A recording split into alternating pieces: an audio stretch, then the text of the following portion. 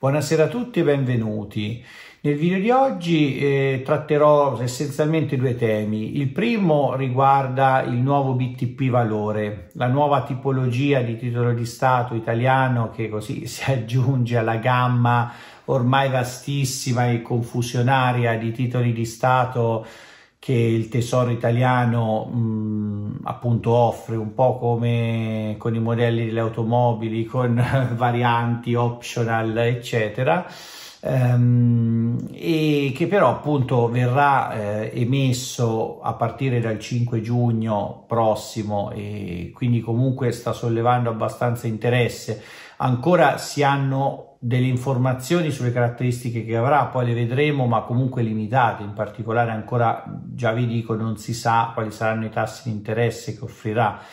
Um, saranno crescenti nel tempo, la durata sarà 4 anni, poi vedremo più tutti i dettagli ma solo il primo giugno verranno comunicati i tassi ufficiali. E, però vedevo su internet tra i vari articoli che ne trattavano, alcuni dicevano già ecco perché è conveniente, potrebbe, o potrebbe essere conveniente, eh, cioè alcuni lo consigliavano senza nemmeno avere caratteristiche. Vabbè. Comunque ecco, mh, mm, e mm, così come dicevo si aggiunge a questa variegata ormai e vasta categoria di titoli di Stato che il Tesoro italiano cerca di emettere, soprattutto per raccogliere il, i risparmi sostanzialmente i cosiddetti investitori retail, retails, i piccoli risparmiatori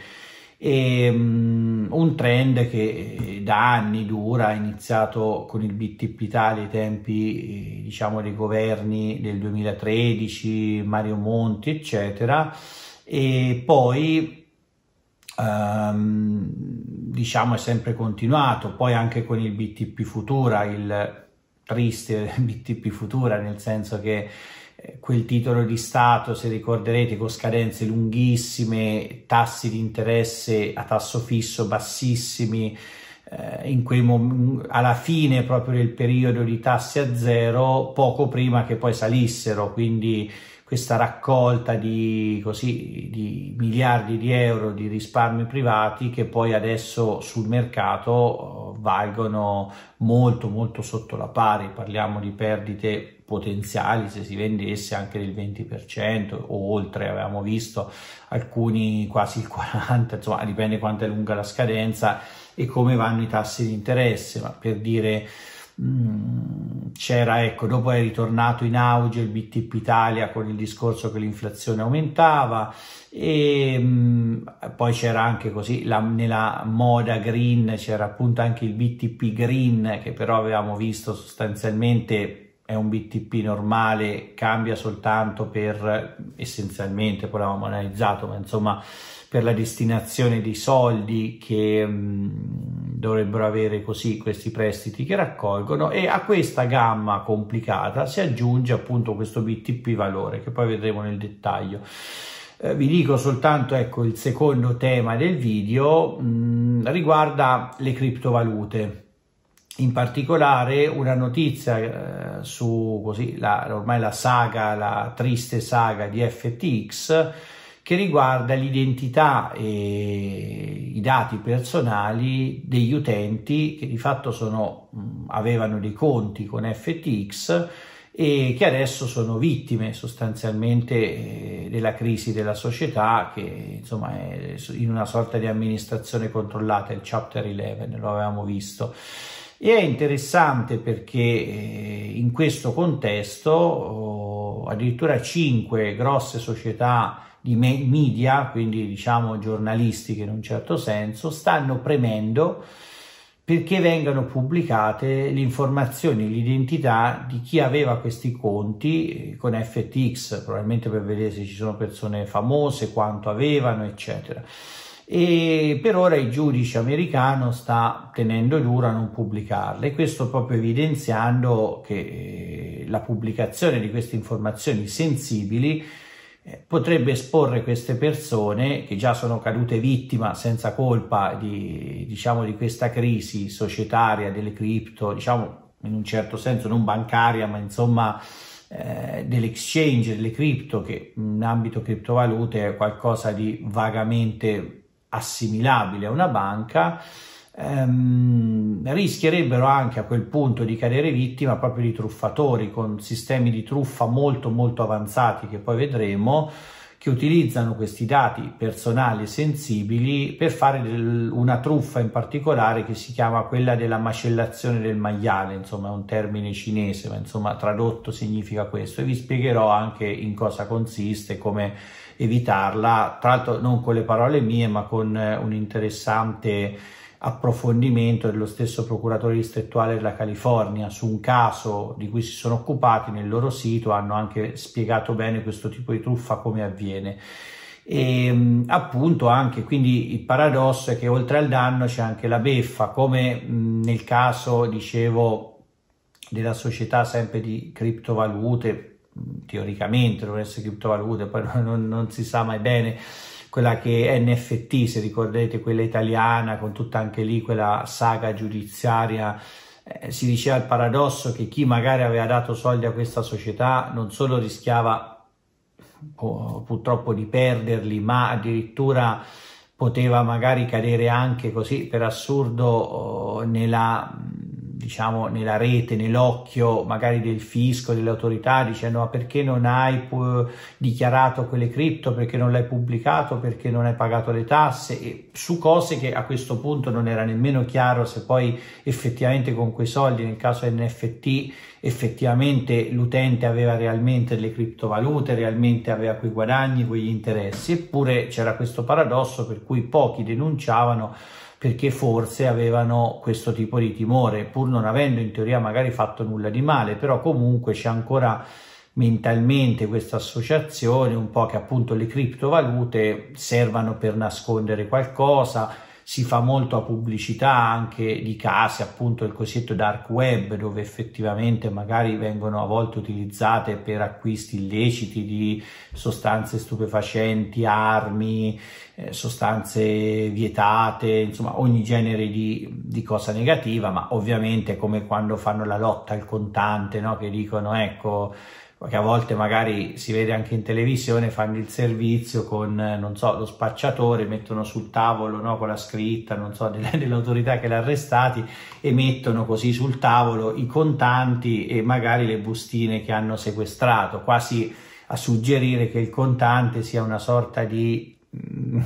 come posso dire, arma del delitto, anche se, ecco, ovviamente, chiaro, magari lo utilizzano, magari, eh, eh, diciamo, i proventi di attività illecite, ma non significa che il contante in sé sia usato dai delinquenti. Invece, tante volte, ovviamente, anche con l'interesse di spingere la moneta digitale, dove ovviamente tutta una serie di istituzioni ci guadagnano ogni transazione, oltre al controllo dei dati che poi possono essere rivenduti, eccetera, c'è quindi un interesse. E in mm, questo caso di NFT che poi vedremo appunto è di sì, NFT, ma adesso è il caso di FTX, appunto, di queste società di media che vogliono i dati e premono, insistono anche sul giudice dicendo bisogna, vogliamo che vengano pubblicate l'elenco dei, eh, dei titolari dei conti, che ripeto, sono, fino a prova contraria sono le vittime in teoria, ehm, la dice lunga anche su come tutte queste informazioni che sempre più vengono richieste, che la legge impone, il cosiddetto KIC, Know Your Customer, KYC è la sigla, cioè tutta quella procedura per cui sempre più nel mondo diciamo finanziario, bancario e adesso anche le criptovalute, per ogni operazione loro vogliono che uno mandi il documento, sia identificabile, mandi documentazione fiscale, codice fiscale, chi sei, dove sei, dove risiedi, come le compri, voglio la traccia di come fai e un po' è ovviamente per motivi fiscali perché il fisco ovviamente vuole eh, chiaramente magari mettere le mani su quel tipo di attività profittevoli e tassarle, insomma, anche se ancora alcuni paesi hanno una normativa poco chiara. Però comunque ovviamente c'è l'interesse di voler conoscere per il motivo proprio di esattoria. Dall'altro c'è una questione però mh, anche magari di prevenzione giustamente di attività illecite però mh, mm, questo binomio di dire criptovaluta anonima uguale qualcosa da nascondere, quindi attività illecita, Ehm, tante volte non è vero. E chi magari sostiene la privacy anche per motivi filosofici, anche per motivi di libertà personale, ricordo sempre il caso dei camionisti in Canada che riuscivano a sopravvivere quando gli avevano bloccato i conti grazie a quella legge fatta dal governo addirittura non so se era proprio una legge o era proprio così un decreto governativo insomma dalla vice premier eh, canadese, no? anche il belloccio tutto con la faccia angelica, poi insomma si è visto come è successo, queste persone manifestavano, ricordo sempre, per evitare, per tutta una serie, contro tutta una serie di misure sanitarie molto forti imposte e mm, siccome è, lecito manifestare ancora in Canada eh, però ovviamente stavano creando molto imbarazzo molta tensione al governo molta anche de- delegittimazione popolare. Eh, prima la polizia ha provato a mandarli via, ci sono i video, come dicevo, che rompevano i vetri delle macchine per farli prendere freddo e fare andare via, poi prendevano le targhe, li identificavano e avevano fatto una normativa dove sostanzialmente senza ordine del giudice potevano bloccare i conti a queste persone in modo sostanzialmente da affamarle e farle andare a casa e in quella situazione le criptovalute eh, furono fondamentali per aiutare queste persone, per creare un canale parallelo non censurabile dal governo per aiutare queste persone. E in quel caso non è che queste violavano oh, una legge o comunque facevano nulla di male, era un mezzo un po' come hanno usato qui, per cui magari una persona che fa qualcosa che non è vietato dalla legge ma il governo non vuole, ehm, sostanzialmente il meccanismo del, del, bastone, per cui dicono io mm, ti, ti, rendo molto difficile qualcosa, faccio in modo che poi sia tu costretto a fare quella scelta, ma apparentemente sia una scelta. E, in quel caso appunto fu chiarissimo come il controllo de, della situazione finanziaria di una persona era il mezzo appunto per bloccare sostanzialmente la vita di una persona, eh, anche se questa non aveva fatto nulla, cioè qui c'è sempre stato giustamente, non so, magari il giudice che ordinava il sequestro anche preventivo, anche in via cautelare di un conto corrente o delle, delle proprietà di una persona, magari se c'era il sospetto fondato che siano proventi di attività illecite o se magari a volte pensiamo ai casi dei debiti, quando magari eh, uno chiede un sequestro, se magari ha fondato motivo di ritenere che poi uno può far sparire i propri beni e rendersi insolvente, quindi già esistono queste situazioni. Lì era qualcosa di, che andava oltre, che si lega a tutta la questione appunto di controllo totale, quasi rieducativo, in stile un po' crediti sociali, Cina, eccetera, e anche tutti i pericoli delle monete eh, digitali delle banche centrali, insomma quello lo avevamo visto. Però ecco, in questo contesto eh, è fondamentale il caso che poi vedremo perché appunto ci ricorda come eh, i dati che noi forniamo, uno dice non ho niente da nascondere, mm, vi mando i miei documenti, vi mando tutto, vi faccio vedere che i miei soldi arrivano in un'attività lecita, ci compro le criptovalute, ci pago le tasse, non c'è niente di male, benissimo. Eh, però poi quella società che obblighi ha di controllare che i miei dati non vengano diffusi e nel caso FTX ricordo i commenti di quello che poi è stato diciamo l'amministratore nominato dopo la crisi e che si era occupato anche del caso Erron che aveva così commentato in modo molto discreto ma insomma che sembravano essersi già rivelati fortissime carenze nell'ambito della sicurezza anche informatica, interna, eccetera. Quindi non si sa se quei dati sono usciti o no, ma poi ci sono storie famose anche di grossissime società tecnologiche, dei colossi che comunque riuscivano ad hackerare e pubblicavano magari numeri di carte di credito di non so quanti utenti, nomi, indirizzi. Quindi c'è anche questo aspetto. Queste società come rispondono? Uh, se perdono i nostri dati, se questi dati vengono diffusi e se soprattutto, come poi vedremo, si rischia di cadere vittime di truffe in quel caso. Quindi questo è un altro aspetto molto importante che riguarda tutti, anche chi magari non, non utilizza criptovalute, anche chi magari non, um, non riguarda diciamo FTX, ma è una questione sui nostri dati che sempre più sono online, anche finanziari, sempre più sono nelle mani di queste istituzioni, c'è una sempre maggiore informatizzazione e sempre meno controllo di questi dati e soprattutto con anche tutta una serie di sviluppo tecnologico, addirittura di intelligenza artificiale, di mezzi sempre più raffinati, anche per chi fa poi veramente delle truffe, diventa sempre più facile camuffarsi e riuscire a fare chissà cosa con i nostri dati. Poi lo vedremo nel caso, come dicevo, della truffa, del, della macellazione del maiale, come è stata così ridenominata prendendo spunto dal nome cinese. Allora, veniamo adesso alle caratteristiche del BTP valore. Come dicevo, è una nuova tipologia di buono del tesoro poliennale italiano che è stata creata dal tesoro, come dicevo si aggiunge a tutta la variegata così insalata mista di BTP, BTP Futura, BTP Italia, BTP Green, poi ci sono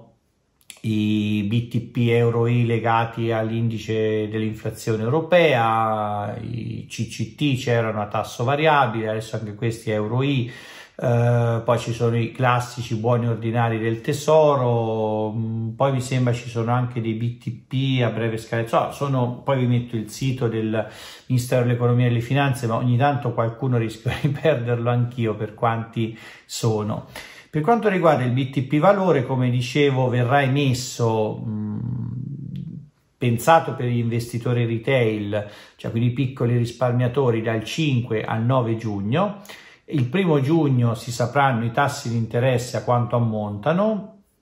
e um, quello che si sa è che la durata sarà di 4 anni, quindi una durata abbastanza breve, ci sarà sempre un premio cosiddetto fedeltà per chi sottoscrive i titoli in fase di emissione e li tiene fino a scadenza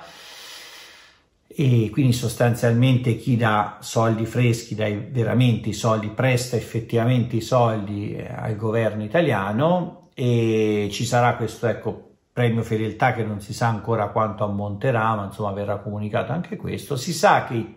i tassi di, diciamo, le cedole eh, saranno crescenti nel tempo, fisse, e appunto che la durata è abbastanza breve. Per questo avevo detto che secondo me è uno strumento un po' ibrido tra una sorta di BTP normale a breve scadenza a tasso fisso e mh, mm, il buono ordinario fruttifero postale, ne avevo fatto un video sui buoni postali fruttiferi, il buono anche lì poi hanno cominciato a fare una gamma così fantasiosa di buoni postali di ogni genere, 3x2, 2x3, 3x4, insomma tutti così, oppure magari legati all'inflazione, mm, legati magari a pensioni, eccetera, eccetera. Anche lì ci avevo fatto un video, potrei anche farne un aggiornato, fatemi sapere se volete posso fare un video aggiornato sui tipi di buoni postali che offrono oggi. Quello fu uno dei primi video fatti ormai quasi due anni fa forse con il canale, quindi magari può anche essere un'idea, fatemi sapere. E ehm, comunque ecco, dicevo che ha delle analogie secondo me con il buono postale, appunto perché anche i buoni ordinari fruttiferi hanno questa caratteristica di offrire dei rendimenti crescenti nel tempo. Questo per incentivare il risparmiatore ovviamente a tenerlo, per cui all'inizio ti danno meno, dopo però se lo tieni più tempo ti danno di più, quindi quella forse è l'ottica. Ehm, eh, va detto ecco, che nel caso però di un buono postale ha un senso anche perché ricordo i buoni ordinari, diciamo, tutti i buoni postali hanno la caratteristica rispetto alle obbligazioni che possono essere in qualunque momento diciamo rivenduti in un certo senso, liquidati eh, incassati per essere più precisi. Alle poste, si va alle poste, si lascia indipendentemente da quanto è stato emesso, loro restituiscono oh, il capitale più gli eventuali interessi maturati a seconda della tipologia. Quindi mh, non è come le obbligazioni che invece vengono rimborsate solo a scadenza e, mh, possono essere comprate e vendute sul mercato, ma a quel punto c'è un prezzo del mercato dato da domanda e offerta, quindi teoricamente si può anche rivendere sotto la pari, ovviamente un'obbligazione prima della scadenza. Buono postale no, questo diciamo è un vantaggio, ma è diciamo, proprio una caratteristica diversa, quindi comunque se secondo me può avere un senso offrire un rendimento crescente sul buono ordinario postale, perché ovviamente siccome può essere liquidato in qualunque momento, magari offrono i nuovi buoni postali un rendimento maggiore, uno può essere incentivato a dire incasso quello, se mai ne faccio un altro, oppure magari eh, lo rivendo e faccio altre cose che rendono di più. Invece con questo meccanismo così crescente, ovviamente eh, il, il, risparmiatore può farlo, ma è incentivato a tenerlo perché magari dicono i primi due anni ti diamo il 2% all'anno, poi il 2,5% per altri due anni, poi il 3%, quindi magari uno dice cavolo ho aspettato due anni, al prossimo anno aumenta e magari lo tengo. Nel caso di un'obbligazione, tanto più con scadenza 4 anni, il buono ordinario postale ha una scadenza di 20 anni, adesso se non l'hanno cambiata era 20 anni, quindi molto lunga in teoria, quindi ovviamente poteva anche giustificarsi questo sistema crescente. Il fatto che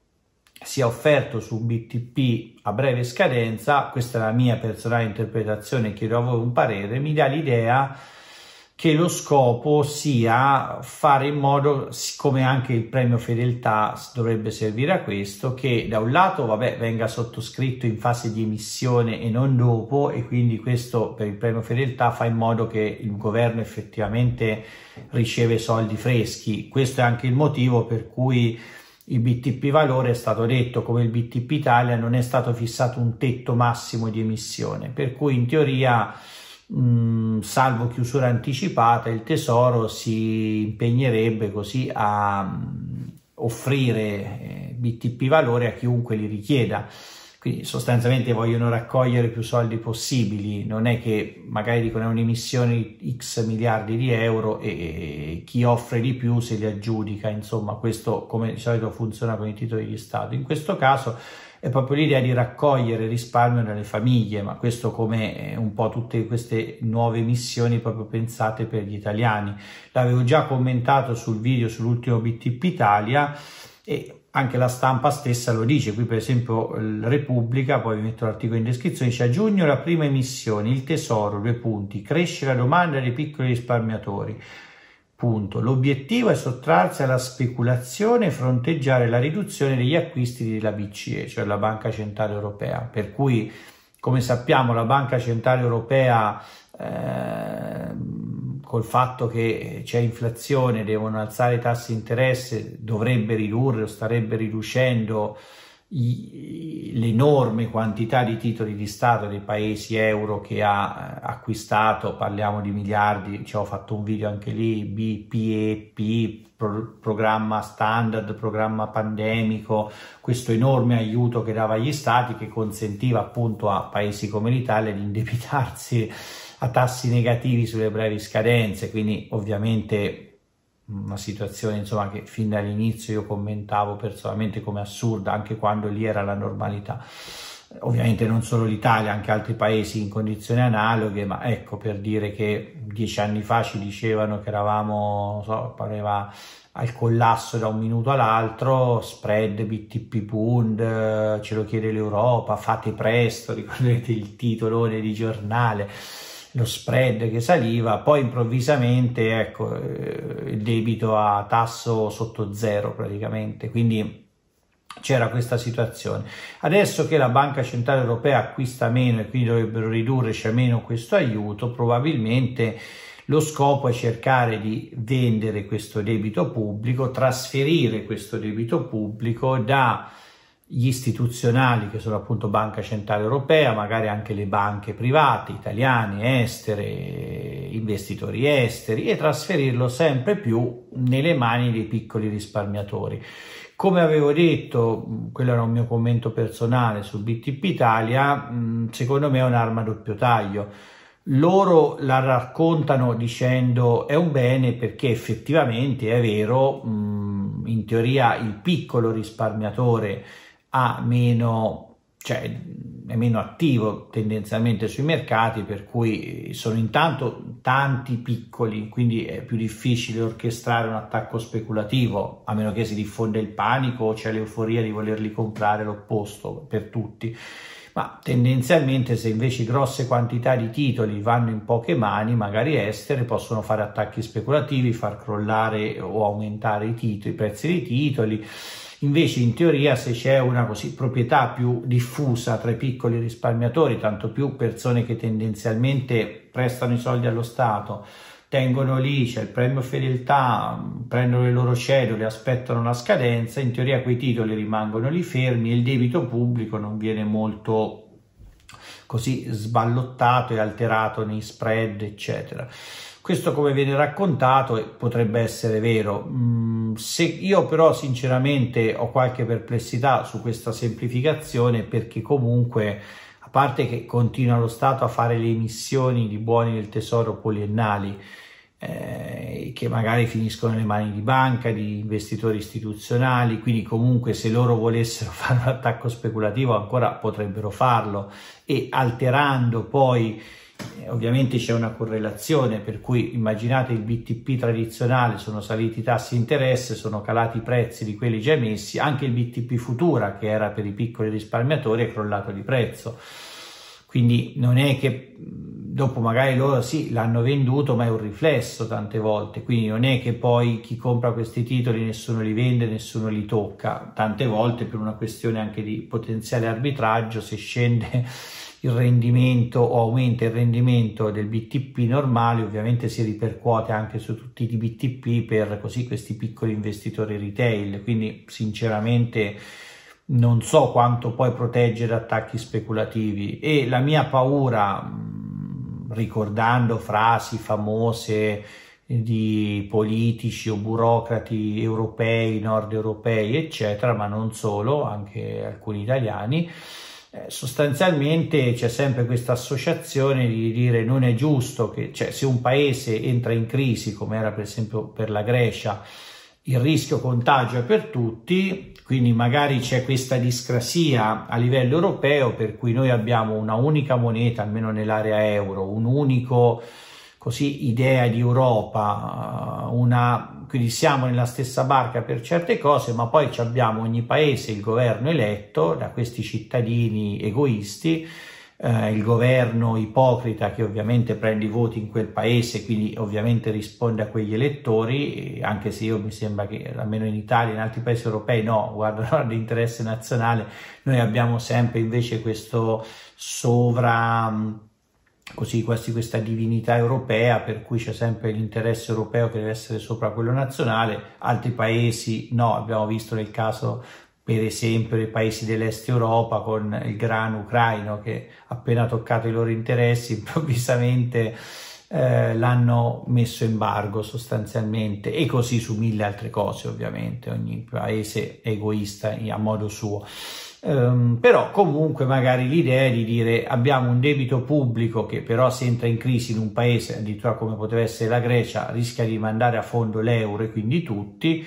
quindi bisogna creare dei meccanismi per cui alla fine il debito pubblico, se insostenibile, sia pagato dai cittadini di quel paese perché l'avete fatto per dare le pensioni in quel paese, assumere i dipendenti pubblici in quel paese, poi anche lì tutto ovviamente la semplificazione, la narrazione per cui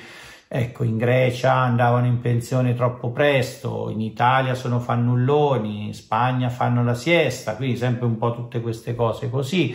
E quindi c'era questa voglia, ma non era possibile perché il debito pubblico era molto intricato, eh, per cui un paese se avesse fatto sostanzialmente default o comunque anche un haircut, cioè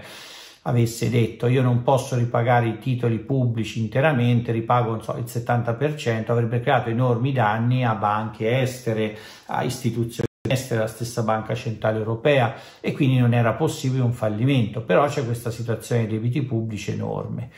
Quindi mh, tante volte, l, viste anche i discorsi appunto propagandistici, mh, populisti, usando il termine che piace tanto ai giornalisti nostrani, comunque diciamo magari ecco del politico del nord Europa oppure de, de, de, del burocrate europeo che eh, l'Europa a ogni costo e sopra ogni cosa, eh, chiaramente in quel caso eh, l'idea sarebbe invece positivo che appunto magari la parte insostenibile di un debito pubblico possa essere fatta pagare ai cittadini di quel paese. Nel caso della Grecia è successo così, non poteva, ovviamente il debito pubblico era insostenibile, se avesse fatto default saltavano banche estere, l'euro e quindi non potevano, quindi gli altri paesi hanno sostanzialmente la troica dato dei prestiti, adesso semplifico insomma questo, imponendo a quei governi eh, delle misure lacrime e sangue, quindi sostanzialmente lo hanno fatto pagare in modo indiretto ai cittadini greci dovendogli prestare i soldi, ma ovviamente era possibile con la Grecia, ma cosa succederebbe a un paese come Germania, Italia, Francia, una cosa del genere? Chi darebbe tutti i soldi per coprire le emissioni? Diventerebbe problema, rischierebbero eh, scoppio dell'inflazione se vengono creati dal nulla, se prestano altri paesi rischiano di non averli. Se invece il debito pubblico, questa è una mia timore, ma ovviamente chiedo a voi anche un parere perché non lo so, eh, però la mia paura è proprio quella che magari se troppa parte del debito pubblico è nelle mani dei, soprattutto dei piccoli risparmiatori di un paese, potrebbe esserci la tentazione a quel punto di dire se ci dovessero essere crisi finanziarie non ripaghiamo loro. Mm, default può avvenire in mille modi, non è che dicono non ti ripago, ciao, può avvenire così, possono dire guarda la scadenza te la prorogo di altri dieci anni, ti continuo a dare gli interessi, ma il capitale non te lo restituisco, oppure magari dire guarda non ti ridò il capitale, ma magari li puoi usare come credito per pagare le tasse in X anni, oppure mm, non so, non ti pago più gli interessi e ti restituisco il capitale tra cinque anni, oppure ti restituisco, non so, ecco, solo l'80% se vuoi, oppure niente e così via. E magari a quel punto l'idea di dire, beh, è giusto, lo Stato si è indebitato troppo per quei cittadini che, ecco, hanno avuto le pensioni, la sanità gratis, le strade, quindi era per loro, è giusto che paghino loro, non è giusto che paghino tutti i cittadini dell'area euro stampando euro e facendo inflazione per tutti, non è giusto che li debbano prestare gli altri paesi, non è giusto che noi siamo bravi, rispettosi, ehm, austeri magari voi invece siete spendaccioni e poi alla fine dobbiamo pagare noi per voi, che come principio è giusto, ovviamente sono semplificazioni, banalizzazioni, ognuno fa le proprie, ovviamente a livello elettorale. Quindi Mm, è un'arma a doppio taglio secondo me, ecco, magari sì, l'es- l'esposizione alla speculazione forse è minore, ma poi non so quanto perché basta anche poco, le grosse banche, le grosse istituzioni, a volte anche solo diffondendo panico tra i media, ehm, decidendo magari tagli di rating, aumenti di rating o cose così, si può alterare molto, quindi non è che poi conta secondo me troppo quanto in mano è quel debito, mentre se una parte eccessiva dovesse essere nelle mani di tante persone, quindi anche senza creare sconquassi al sistema finanziario, perché mi spiego, se magari una grossa banca, se facessero un default su un debito pubblico, dice eh, ma ci falliscono 40 banche europee di tutti i paesi, crea un effetto valanga impossibile da sostenere e quindi non, non si può fare. Se invece dicono, vabbè, ma in fondo ce l'hanno mediamente 30 milioni di italiani, ognuno ha una media di 5-6 mila euro di titoli, se fanno default non è che cambia la vita a queste persone, ma magari sono miliardi che a quel punto lo Stato si alleggerisce, ripartono gli investimenti e per un bene superiore, eccetera, eccetera. Quindi mh, è un po' banalmente come faccio sempre una metafora un po' cruda, ma come se magari uno ha una bomba a mano e sta in mezzo a vari ostaggi, a un certo punto eh, è un modo per proteggersi, se quello sta da solo con la bomba a mano gli sparano e lo seccano, o se si fa saltare salta solo lui. Quindi per assurdo questa concatenazione tra debiti pubblici, tra vari paesi e il rischio reciproco, l'effetto contagio, potrebbe secondo me proteggere proprio da attacchi speculativi perché magari a quel punto ognuno rischia di avere a perdere attaccare altro invece magari basterebbe per un paese anche solo diffondere il panico, magari in modo anche artificiale, magari eh, per attaccare un paese rispetto a un altro, quindi per interessi anche eh, di grosse istituzioni finanziarie, magari colpire un paese e diffondere il panico, far crollare i titoli. Ricordo che qui hanno fatto cadere eh, un governo che poi può piacere o no, a me personalmente quel governo non è che piaceva molto, però comunque eh, ricordiamo tutti, insomma, come avvenne in pochi giorni, mm, che in un attimo se ne dovette andare l'ex presidente del Consiglio, arrivò il professor Monti come primo ministro nel giro di giorni. Eh,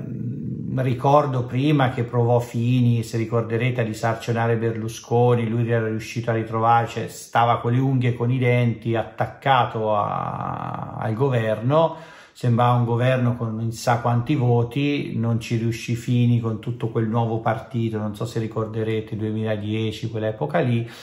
eh, nel giro di due o tre giorni con lo spread che salì, sostanzialmente dette le dimissioni Berlusconi, arrivò Monti e subito partirono tutta una serie di leggi estremamente complicate che o non si sa come hanno fatto a scriverle in pochi giorni oppure forse erano già pronte da tempo e serviva solo uno che le approvasse. Chissà, questo non lo sapremo mai, penso, però comunque dà l'idea del potere speculativo anche solo sulla paura. Quindi non so poi se magari è un bene realmente, questo è un mio timore, nel senso che magari è più facile fare un attacco speculativo, tanto rimane anzi nei confini italiani o di un altro paese, perché ovviamente può essere vittima qualunque paese, e è più facile farlo dall'estero. Se invece eh, il paese poi ha da perdere a sua volta, se c'è il panico reciproco, magari non lo fanno, quindi non so quanto sia una protezione realmente. Questo però è una mia personale valutazione. Come dicevo, volevo chiudere col caso di, dei dati di FTX, dicevo ecco, vari media qui diceva per esempio c'è l'elenco proprio il New York Times, il Financial Times, Bloomberg, e altri avrebbero chiesto appunto alla Corte ehm, che si occupa del caso di diciamo, fallimento, diciamo sostanzialmente bankruptcy tradotto, che non è proprio il fallimento inteso come nel codice italiano, ma insomma ehm, la liquidazione, la gestione straordinaria ecco, di FTX, appunto di pubblicare tutto l'elenco con i milioni di clienti di FTX per ora la Corte aveva tenuto duro, ma loro avrebbero in una nuova istanza insistito per avere questo elenco, probabilmente per poi vedere se ci sono nomi famosi o pubblicare, non si sa bene perché insistono. E la Corte ecco, aveva per ora negato la pubblicazione proprio col rischio di fatto che questi dati molto sensibili possano essere pubblicati, esponeva queste persone anche a rischi di finire vittime di frodi, eccetera. E appunto la, eh, diciamo questi, queste società avrebbero invece sostanzialmente insistito per averli motivando dicendo appunto che se, secondo loro questo rischio sostanzialmente non sussisteva non era poi così ehm, concreto e quindi diciamo insistevano per avere questi dati. Poi vi metto l'articolo in descrizione di Crypto News, eh, diciamo, fa un interessante approfondimento. E questo, come dicevo all'inizio del video, si ricollega al fatto che poi i nostri dati, cioè, a noi ci trattano sempre da utenti un po' come potenziali criminali, per cui noi dobbiamo dimostrare di non essere criminali in partenza, con quella, sempre quell'assioma fallace, secondo me, per cui dici se, se non hai niente da nascondere devi così calarti in mutande, far vedere tutto a tutti e il problema tutto a tutti chi? Cioè io devo mandare i miei documenti, i miei dati riservati personali a chi? Cioè sia eh, una società ma chi c'è dietro? Chi è che gestisce quei dati? Io che garanzie ho che vengano ottenuti in modo sicuro, protetto? E chi è che potrà vedere quei dati? Se, che ne so, una società privata o qualcun altro li vuole vedere... Eh, come vengono protetti, come sono sicuro che magari non se li rivende qualcuno, li mette su una chiavetta e li rivende a degli hacker, dei truffatori o magari anche semplicemente a fini pubblicitari. in teoria ci sono ovviamente dei contratti, ma in un mondo dove ovviamente queste società magari hanno sedi in tanti paesi c'è il cosiddetto meccanismo del dello shopping di giurisdizione, diciamo in termini giuridici viene definito così, per cui ovviamente a seconda di dove si opera e la sede, magari eh, si può mettere una sede in un paese o in un altro, magari in paesi che hanno le normative un po' più mm, così, lente nell'ambito di certe protezioni, più a favore magari della società ovviamente, non solo in ambito fiscale, noi siamo abituati a pensare ai paradisi fiscali eh, solo nell'ambito di paghi meno tasse, ma mm, ci sono tante giurisdizioni anche in paesi occidentali eh, del primo mondo cosiddetto che in realtà magari garantiscono grossa segretezza su, sugli organi societari, danno molta flessibilità sui contratti, hanno magari meno tutele dei consumatori, meno tutele a livello ecco, di fallimenti, eccetera. Quindi magari molte società aprono in certe giurisdizioni piuttosto che in altre, non solo per la questione fiscale, magari a volte hanno anzi delle tasse anche alte, ma hanno tutta una serie di altri benefici. Quindi anche lì non è facile dire firmi il contratto, poi chiaramente eh, quando firmate i cosiddetti contratti sanno migliaia di pagine o centinaia o anche decine ma illeggibili quindi poi alla fine molti, quasi nessuno le legge, a volte anche in banca andiamo lì, ah, firmi qui, non è che uno legge tutto il blocco di fogli, quindi dice dovrebbe, potrebbe, ma comunque così è. Poi comunque c'è anche da dire che tante società non danno alternative, per cui ti dicono o è così oppure arrivederci grazie, quindi poi di fatto sei costretto, non è che c'è una ehm, diciamo così, negoziazione ovviamente. Quindi mh, c'è anche questo aspetto di dare i propri dati e si vede anche come poi dati estremamente riservati poi possono cadere in mano facilmente di non si sa chi e non si sa con quali intenzioni. Ecco il motivo per cui l'anonimato secondo me è importante, strumenti che garantiscano l'anonimato, non per fare qualcosa di male, anche perché poi casi giudiziari hanno dimostrato che eh, appunto quando effettivamente le forze dell'ordine anche a livello internazionale in coordinamento da paese a paesi hanno sostanzialmente sgominato delle organizzazioni criminali eh, anche che utilizzavano criptovalute che anche per l'acquisto di materiali non so armi sostanze stupefacenti cose così illecite utilizzando criptovalute per quanto magari utilizzavano dei metodi per nasconderne l'origine, per eh, così camuffarle, per ehm, ecco, confondere le tracce, poi alla fine li trovavano, quindi ovviamente le forze dell'ordine come sempre hanno avuto i mezzi ovviamente di indagine per scoprire anche chi magari eh, si vuole celare dietro l'anonimato, quindi non è che questo anonimato serve per violare la legge, anche perché io credo che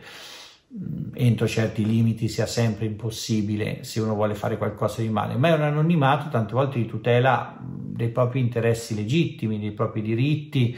del, della propria eh, tutela personale, anche di protezione. È come banalmente se mh, facessero una legge per cui dicono è pubblico sapere ogni persona che patrimonio ha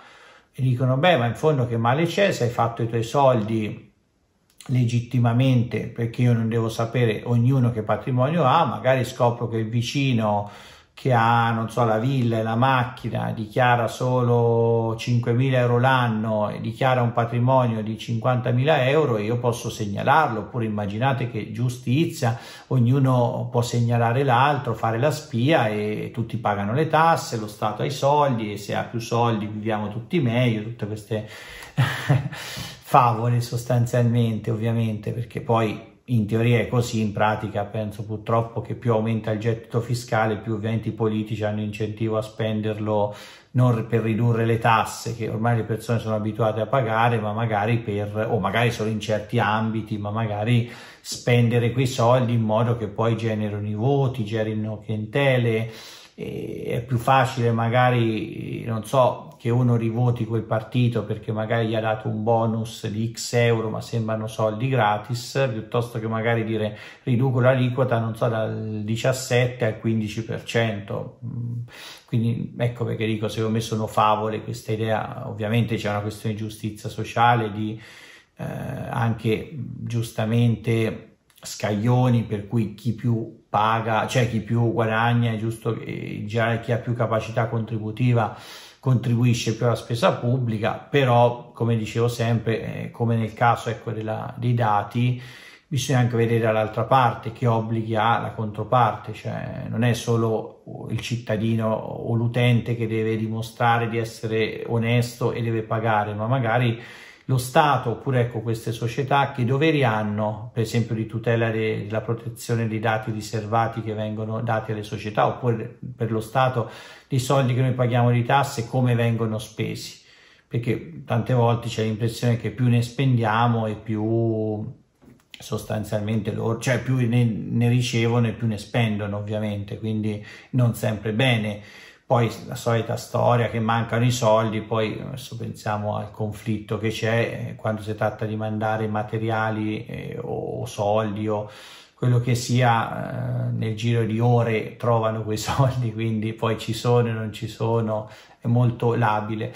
Però ecco, tornando all'ultima questione, appunto, quindi eh, c'è questo rischio di questi dati, eh, come vengono gestiti, ecco perché dicevo l'anonimato è fondamentale. E mh, vi avevo anticipato, è stato proprio citato il rischio della cosiddetta truffa che si sta molto diffondendo, diciamo de, de lo, della macellazione del maiale,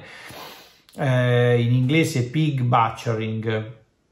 che però appunto parte diciamo dall'espressione cinese sha zu pan, spero insomma averla tradotta bene, poi metto gli articoli in descrizione. E mh, mm, una descrizione fatta molto bene è proprio diciamo stata pubblicata dal, mm, dal sito della procura distrettuale della California, quella centrale, che appunto eh, dice è un sistema di truffa molto elaborato in cui sostanzialmente mh, mm, eh, praticamente eh, fanno adesso lo semplifico comunque diciamo eh,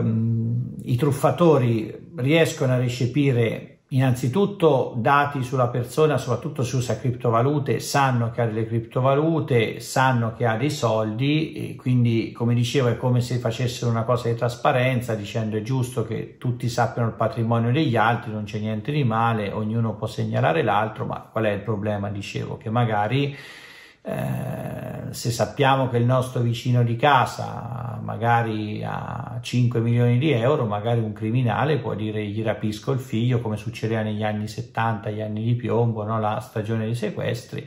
e magari lo mm, chiede un riscatto, ecco anche il segreto bancario, queste cose da dove nascono. Non c'è niente di male, però uno ci può fare del male con quelle informazioni. Oppure magari uno può mettersi a fare causa a persone ricche a, a, uffa sapendo che hanno i soldi per dire, anche solo per dire magari per chiudere la storia mi, mi liquidano, quindi la riservatezza anche per esempio sul patrimonio, quindi anche sulle criptovalute eccetera, nasce per tante volte per tutela personale. Le criptovalute poi hanno una caratteristica, si lega a questa truffa particolare per cui ovviamente sono a volte accessibili più facilmente direttamente dall'utente, magari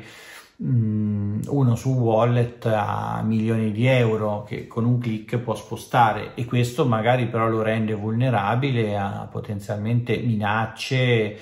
eh, anche fisiche, di violenza fisica, se uno sa che uno ha quelle, quella disponibilità dicendo, non so, ti, ti rapisco qualcuno oppure rapisco a te, ti faccio del male se non mi dai quei soldi. Un po' più difficile spostare grosse somme di denaro,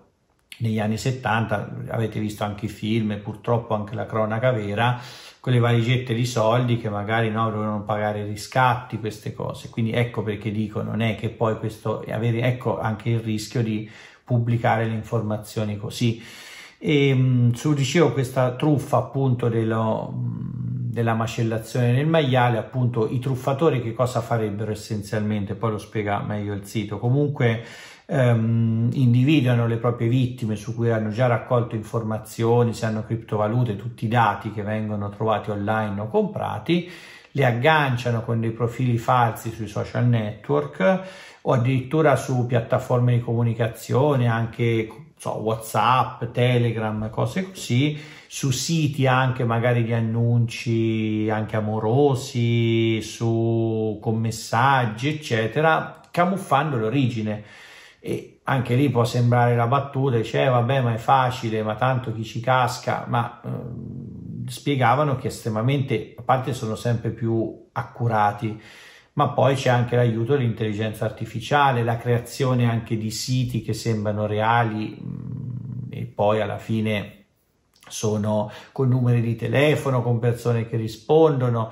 ma se vedete anche dei video fatti con l'intelligenza artificiale, magari con, eh, per esempio sono anche buffi, non so, film famosi, non so, mamma ho perso l'aereo con la faccia di, mi sa, Stilvestre Stallone, cose così, di un realismo incredibile, oppure mh, ci sono proprio anche delle cose fatte bene, anche se così a livello scherzoso, magari so, con persone famose, noi muoviamo la nostra bocca e la te- con la telecamera e il computer eh, mima quello che noi facciamo come se fossimo so, un personaggio famoso. Quindi immaginate quello che possono fare anche a livello